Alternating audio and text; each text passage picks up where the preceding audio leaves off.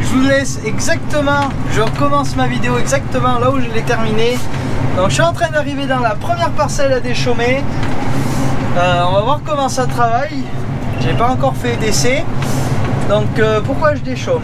Donc là, à l'heure où je vous parle, euh, il y a déjà une semaine qui s'est écoulée entre temps par rapport à la vidéo de la semaine dernière. Donc là, à l'heure où je vous parle, ils annoncent de la pluie.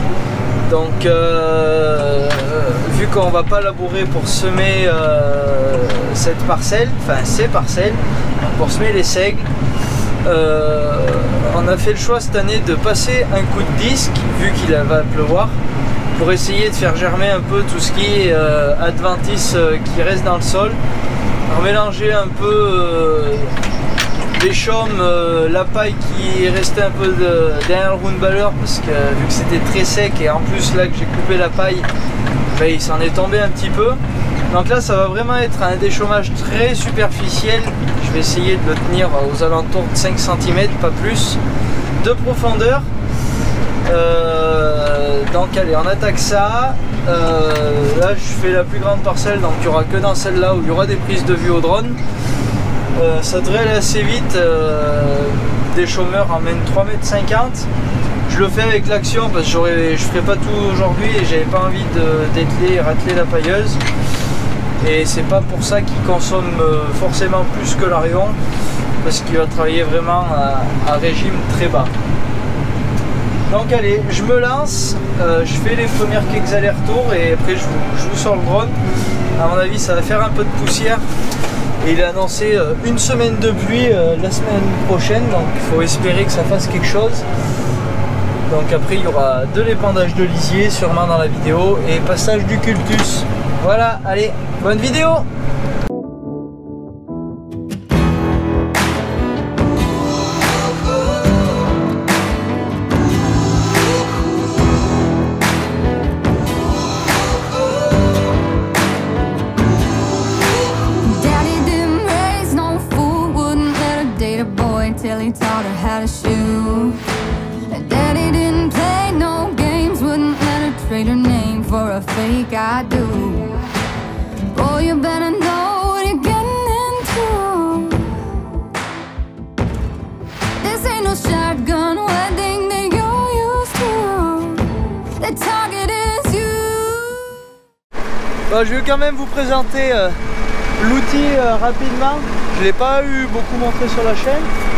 Donc c'est un 4OS 3501. Euh, ça fait déjà quelques années qu'il est sur, sur, la Kuma, donc c'est toujours matériel de Kuma. donc deux rangées de disques. On avait fait rajouter un smore pour les petites graines avec une rangée de semis, un peu semis à la volée où les graines tombent dans le flux de terre avant de passer sous le rouleau. Ce que j'aime bien sur cet appareil, c'est le réglage du rouleau hydraulique depuis la cabine. Ça, c'est pas mal. Euh, on a déjà changé les disques avant. Donc c'est monté sur cylindre bloc. Donc dans nos sols euh, pierreux, en niveau de suivi de terrain, les disques euh, suivent parfaitement le terrain. Seul inconvénient, ça sort un petit peu de pierre chez nous pour ça aussi qu'aujourd'hui je travaille pas trop profond. Donc si on regarde d'un peu plus près, ça ne retourne pas tout à fait les chaumes. Et ils sont bien déracinés. Quand on les attrape, hop, tout vient. Donc ça a plus but de faire un faux semis avec un peu toutes les petites graines qui peuvent traîner. Là je vois il y a des, des pieds. Il faudrait que j'essaye d'aller peut-être un petit peu plus profond, mais bon. Je peux pas non plus trop descendre. Déjà c'est sec, ça fait déjà beaucoup de poussière. Mais il y a des ce qui est un peu pied d'avant de ventis. Ça y arrache déjà pas mal. Bon. Vous avez vu sur les images de drone, ça fait énormément de poussière. Je sais qu'agronomiquement, je sais pas si ça se dit, c'est pas idéal de travailler dans du sec comme ça. Le fait de gratter un peu le sol en surface, et eh ben quand il va pleuvoir euh, à partir de dimanche, ça va faciliter euh, l'eau euh, à rentrer dans le sol à mon avis plutôt que du sol compacté comme ça où l'eau risque de surtout ruisseler ben là le fait que ça soit gratté dans les parcelles euh, en pente, vu qu'elles sont toutes en pente, et ben ça retiendra un petit peu l'eau je pense. On verra bien. On essaye de mettre toutes nos chances de notre côté pour essayer de garder l'eau dans le sol et pas qu'elle parte au fond du champ. Bon allez,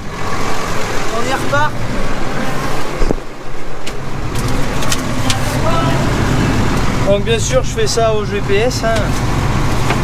Bon là on s'en sert. C'est comme tout. Et ça va plutôt bien cet appareil. Allez, je m'y recolle. Encore euh, une demi-heure, trois quarts d'heure avant d'aller traire.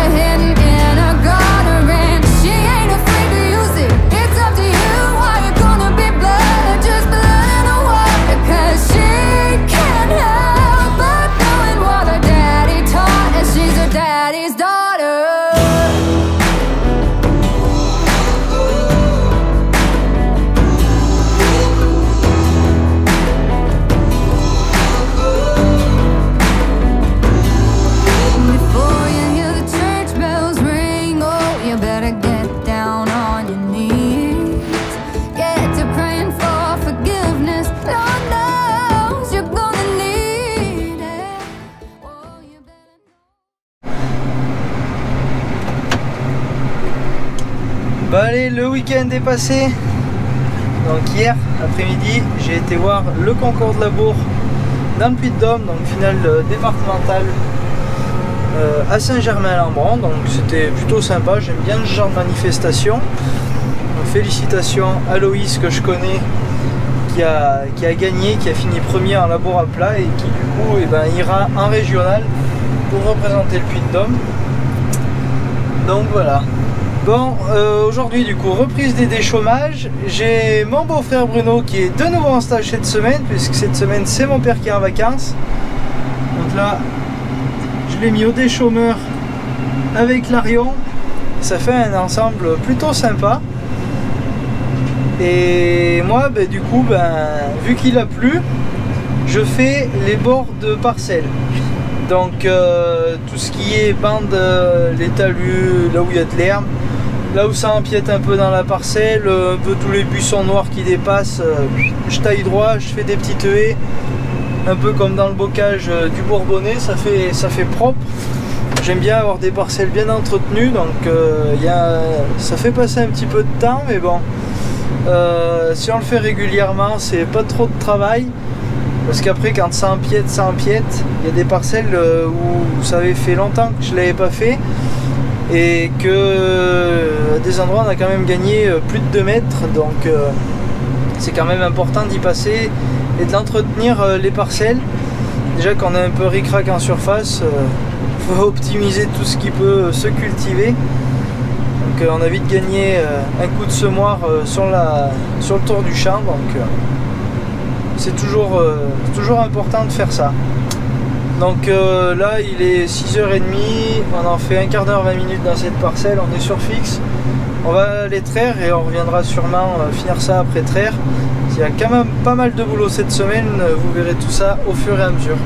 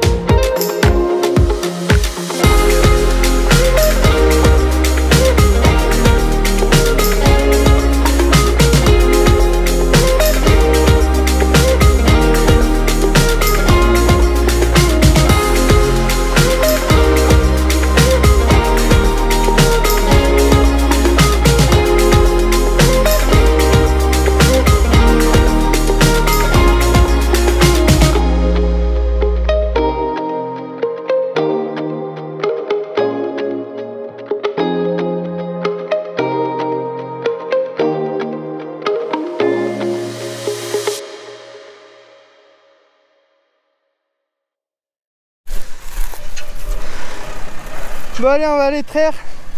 Juste vous montrer, ça fait quand même du meilleur boulot que l'autre jour. Dans la poussière. Donc là, ça arrache bien les chaumes. Vous voyez Donc là, ça ira nickel pour mettre le lisier. Le lisier va directement rentrer dans le sol. Et après, on passera un coup de, de déchaumeur à dents. Voilà, ça fait un peu de temps qu'on avait moissonné. C'était la parcelle euh, où j'ai ramassé la paille dans la vidéo de la semaine dernière. Avec le merlot. Donc on... Sur le drone, on a l'impression que ça travaille profond, mais en réalité, on travaille euh, vraiment très très superficiel. Autour de 5 cm. Bon Bruno il veut plus s'arrêter j'ai l'impression. Crois que son père il va devoir casser les, les prés en arrivant acheter des, du matériel de travail du sol. Parce que il a jamais, il a jamais connu ça, il avait jamais fait ça et je suis content, ça a l'air de lui plaire. Bon allez, cette fois-ci on va traire pour de bon. Salut à tous Bon aujourd'hui comme vous voyez c'est moi qui, qui ai pris la caméra. Arthur me l'a confié un peu euh, ce matin en faisant le lisier pour les prairies que je descends lisier à, Sainte-Eugénie de Villeneuve par l'ancienne 102. Bon, comme certains l'avaient remarqué dans, dans la vidéo de, de dimanche dernier, Aaron il n'avait pas bien de voix, c'est normal, ça de faire la fête. Heureusement que cette semaine, je suis, on est mercredi, que c'est le milieu de semaine. Parce que vous m'auriez écouté parler euh, lundi ou mardi, hmm, je sais pas. Je sais pas si ça aurait été pas la même. Alors voilà, bon. Là on descend lisier de, fixe à Sainte-Eugénie, comme je vous ai dit. Avec l'action avec l'action et la tonalisée de la Cuma, à 17 000 litres. Alors, euh, ce tracteur, euh, vraiment, c'est un régal à la descente.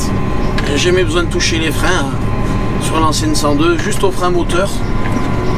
Et on descend un peu mieux de 30 km h Bien sûr, tout en sécurité. Euh, la tonalisée à l'essieu suiveur. Tout le temps penser à le bloquer quand on est chargé. Comme ça, euh, on sait jamais si dans les tournants un peu vite, des fois on sait jamais si ça glisse ou quoi. On peut bien. La tonne elle va pas se retourner à cause que l'essieu euh, soit soit cassé quoi.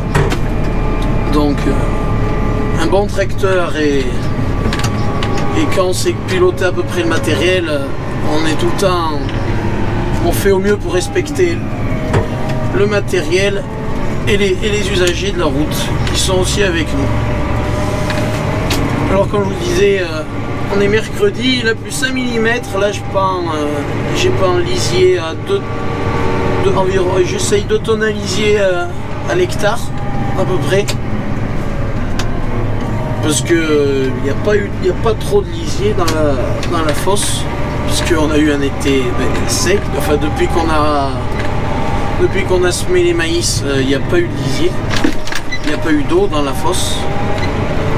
Alors, euh, normal que la, la fosse soit pas très, très remplie. Alors voilà. Bon, je vous reprendrai un peu plus tard. Je vais essayer de vous faire quelques prises de vue et puis Arthur, une fois qu'il aura fini son travail, car là il est en train de traire euh, avec Bruno, il est de retour cette semaine en stage et avec Jérôme. Car cette semaine, c'est le père Arthur qui a pris ses vacances. Alors voilà. Bon, allez, à tout à l'heure. Bah allez, je vous prends bah, du coup le mardi soir. Non, mercredi soir, excusez-moi. Bon, et eh ben, on la voulait, elle est là. Euh, bon, ça nous a complètement arrêté dans nos chantiers de préparation. Ce qu'Erwan nous a filmé ce matin. D'ailleurs, merci à toi Erwan pour ta petite intervention dans cette vidéo. Je pense que ça fait plaisir euh, à la communauté, ça a l'air de, bien plaire. Il y a toujours la bonne ambiance qui ressort dans les vidéos et c'est ça que j'aime avant tout vous montrer qu'il y a une bonne ambiance, qu'on est une bonne équipe soudée surtout tous les deux avec Arwan. On est très complices, on se comprend vite dans le travail et ça c'est vraiment cool de pouvoir avoir un, super salarié comme toi Erwan. J'aime pas dire salarié parce que pour moi t'es pas un salarié, tu, participes vraiment euh, à l'exploitation, aux travaux de la ferme et tout et on sent que tu mets vraiment du tien et ça fait vraiment plaisir. Bon du coup cet après-midi on s'est occupé différemment parce qu'après manger j'ai voulu partir avec Arwan du coup on est parti machin on a mangé on a rigolé 5 minutes il nous a raconté tous ses exploits du week-end croyez-moi je peux pas tout vous raconter mais ce que je peux vous dire c'est que c'est très chargé et que c'est très marrant donc cet après-midi, j'ai voulu aller filmer du coup dans une parcelle un peu en pente. J'ai dit ça va être sympa. Enfin en pente, c'est un grand mot. Mais ça montait assez pour pas qu'on y arrive. Vu qu'il s'est mis à pleuvoir quand on est arrivé. Et il a bien fallu vider la tonne. Pour vous dire que c'était tellement mouillé que ça collait même pas aux pneus. Donc euh, ça n'a pas été du super, du super euh, travail. Donc on a tout mis en stand-by. Cultivateur, il faut vraiment attendre que ça s'essore parce que sinon on va faire de la merde. Et là, euh, on a le silo qui est presque terminé. Il reste un mètre en haut, donc on a enlevé tout ce qui était abîmé, tout ce qui chauffait. Euh, là, contre l'élément, je sais pas si vous allez bien voir parce que là, contre l'élément, là, sur euh, presque un mètre, tout trié à la main parce qu'il y avait des boules rouges qui s'étaient formées. Et les boules rouges, je sais pas ceux qui connaissent, mais c'est vraiment, vraiment toxique pour les vaches. Ça les fait avorter. Donc il faut trier tout ça euh, minutieusement parce que une vache qui s'apporte, et eh ben qui s'avorte, c'est une très grosse perte économique. C'est pas de veau, une vache qui fait pas de lait, une vache qui part à la casse en gros. Donc on a fait ça et on a préparé de la farine pour les veaux. Et moi là je vais préparer la mélangeuse pour demain. mettre tout ça à l'abri. Et ça sera tout pour ce soir. Et demain bah, on verra ce qu'on fait. Peut-être un peu de curage de, bâtiment là-haut euh, aux vaches de la paille. Et voilà, c'est à peu près tout euh, ce qui va se faire là les deux jours. Et on rattaque fort vendredi, euh, lisier et essayer de faire du cultivateur. Donc on verra comment ça se mène. À midi, il avait fait 5 litres ce matin, 18 litres cet après-midi, enfin à midi, début d'après-midi. Et là, je sais pas, on doit être presque à une trentaine, une petite trentaine, je pense, depuis depuis 4 heures qui a refait des averses et que là ça a l'air pas lâché. Il en a encore annoncé de cette nuit donc euh, ça fait plaisir quand même de voir la pluie même s'il aurait fallu qu'elle arrive beaucoup plus tôt et croyez-moi on n'aurait pas eu besoin d'acheter de maïs parce que là les sommes qu'on en a de maïs euh, ça commence à, parler et il va falloir que ça fasse du lait derrière. Et en parlant de maïs donc le maïs qu'on a acheté dans la Loire nous est livré euh, semaine prochaine donc euh, ben, vous verrez ça dans la vidéo. Et ça va faire encore beaucoup de manutention puisque c'est des fonds mouvants et ils peuvent pas vider là. Donc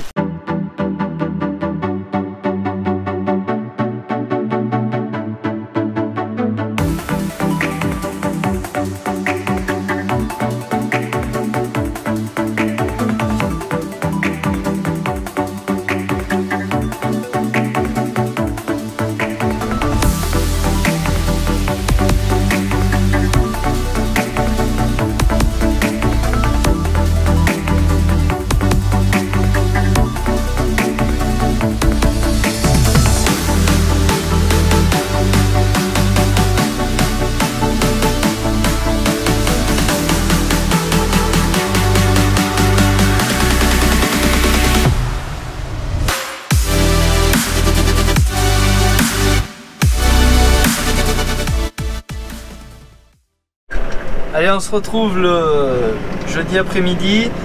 Il pleut pas, mais euh, comme je vous l'ai dit euh, hier dans la vidéo, on doit recevoir euh, le maïs la semaine prochaine. Donc là, on est en train de préparer pour faire vider les semis. Donc on a des, des.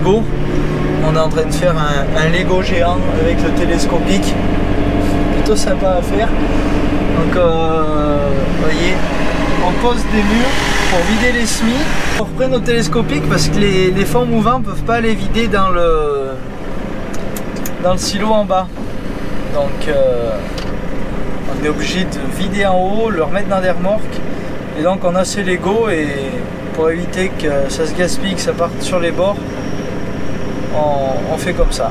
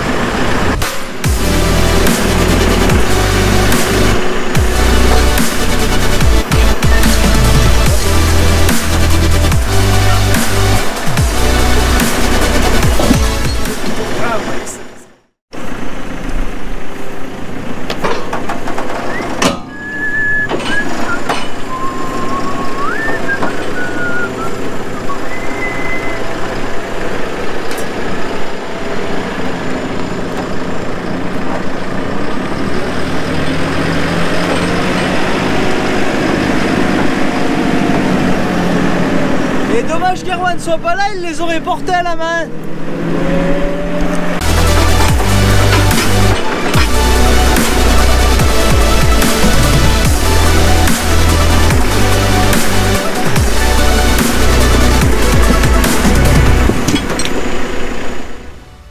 Allez, je vous reprends le vendredi après. Bon, on va mettre le cultus sur l'Arion avec la caisse devant. On va essayer d'aller en préparer un peu pour euh, pas prendre non plus trop de retard sur les suites prairies.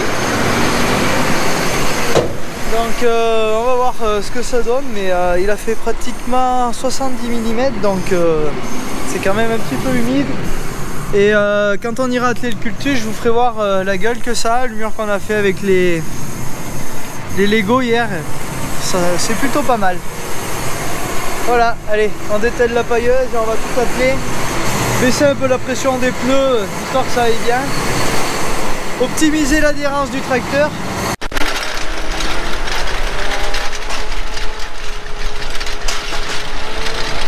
Allez, comme promis, on se retrouve à la parcelle. Donc on va faire un peu un point et je vais vous expliquer euh, ce qu'on est en train de faire. Donc, il y a eu un apport de lisier euh, vu qu'on exporte toutes les pailles de nos parcelles, avant chaque culture, on fait systématiquement un apport de matière organique, donc soit lisier, soit fumier, on essaye d'alterner. Comme là, ce sera une culture de printemps, enfin, culture d'automne qui sera ramassée au printemps, on met qu'un lisier, et après pour le maïs, on mettra un coup de fumier, donc 50 tonnes hectares en moyenne, c'est ce qu'on met. Et donc là, Bruno est avec l'Arion et le cultus, et moi je ramasse les pierres. Bon, malgré qu'on ait eu euh, 73 mm depuis dimanche, euh, on n'est pas dans des terres comme chez Jean-Loup où euh, dès qu'il pleut euh, 3 mm, ça y est, on est bloqué, on peut plus, plus rien faire. J'exagère un peu, mais quand je regarde les vidéos de Jean-Loup, c'est à peu près ce que je retiens. Que dès qu'il pleut, il est embarrassé, la terre colle. Nous, on est dans des sols volcaniques comme ici, donc de la terre rouge, où euh, ça capte bien l'eau et ça garde bien l'eau. Enfin, ça évacue assez bien l'eau, mais ça arrive à la garder quand même en profondeur pour les racines. Donc euh, là, c'était ultra sec quand on avait des chômés. C'était comme en début de vidéo.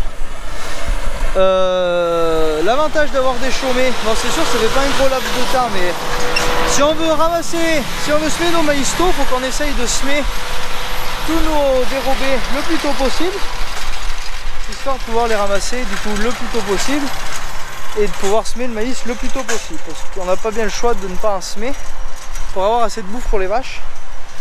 Donc il y avait eu le passage du déchômeur à disque pour vraiment gratter superficiellement Et ça a été un gros avantage parce que les parcelles qui n'étaient pas déchaumées, l'eau ruisselait et ne rentrait pas dans le sol que là, eh ben, l'eau elle se, stagnait sur la terre et petit à petit elle est bien rentrée.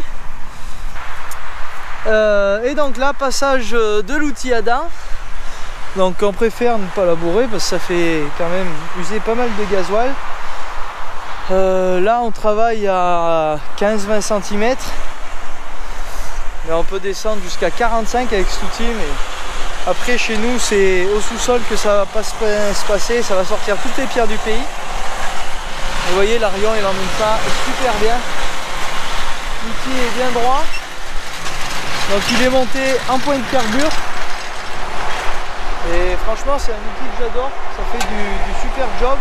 Vous voyez avec le petit coup de déchaumeur avant, ben, on brasse de la terre sans déstructurer euh, l'horizon quoi de la terre, du sol.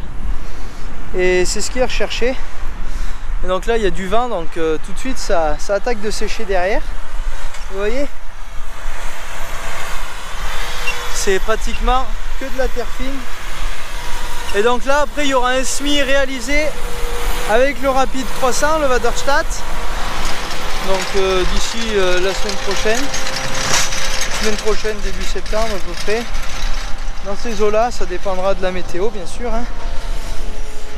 et il faut pas oublier qu'on a des vaches à s'occuper aussi. On fait des découvertes surprenantes des fois dans les champs. Je sais pas s'il y en a un qui est venu dormir ou pas s'il a oublié son, son oreiller mais les gars ils sont dégueulasses. C'est au bord de la 102 et tout ce qui est en trop dans la voiture ils doivent le jeter quand ils passent à côté des champs des fois allez ça fera un petit coussin pour, euh, mettre les pierres Voilà.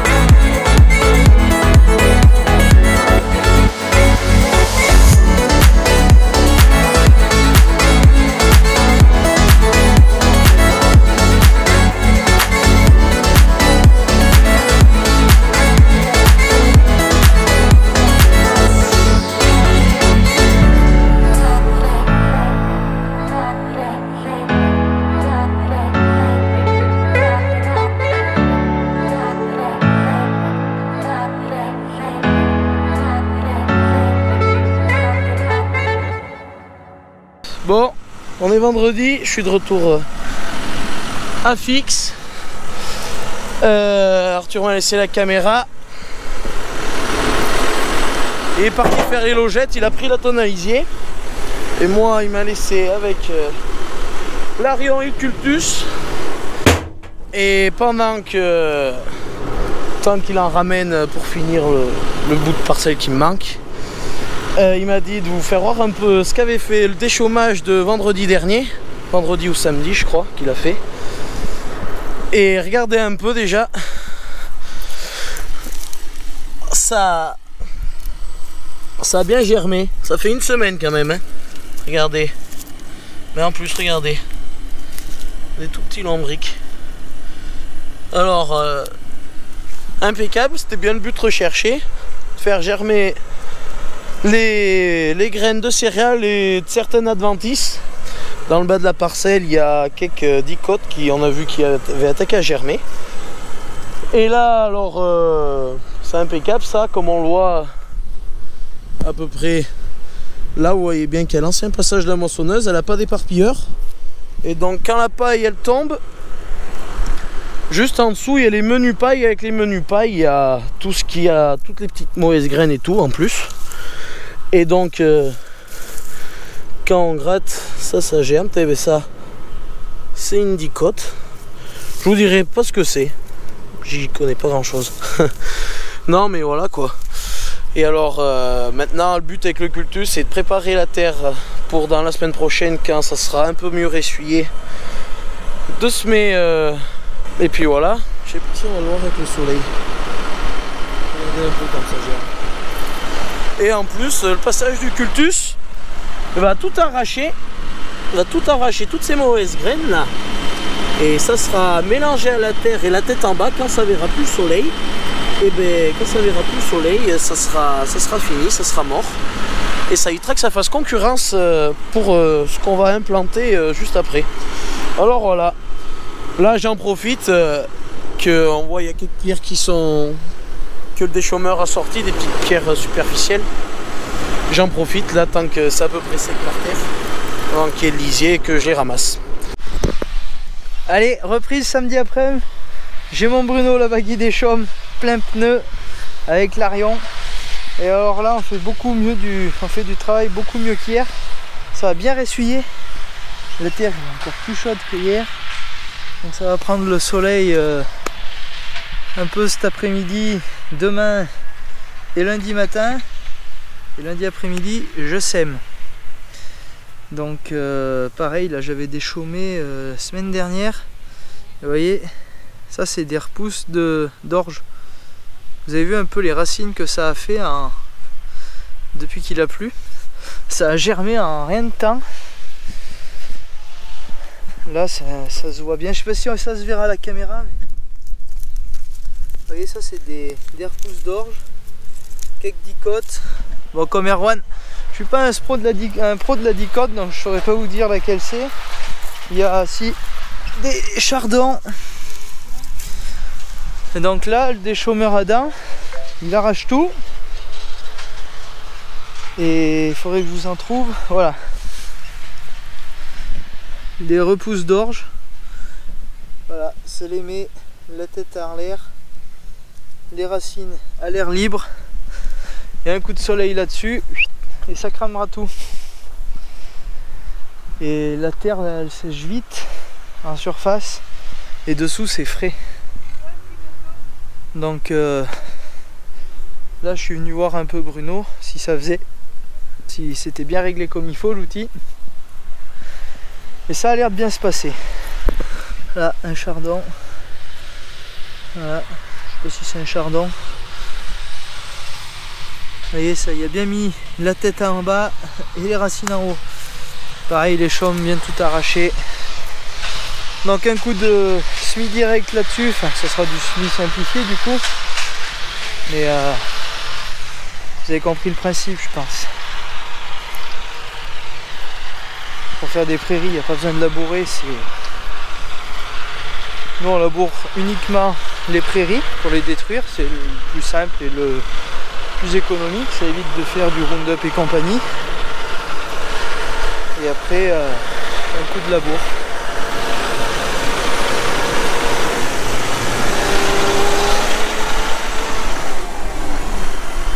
Donc hier je vous ai dit on a dégonflé les pneus. Ça porte bien et il n'y a pas de patinage.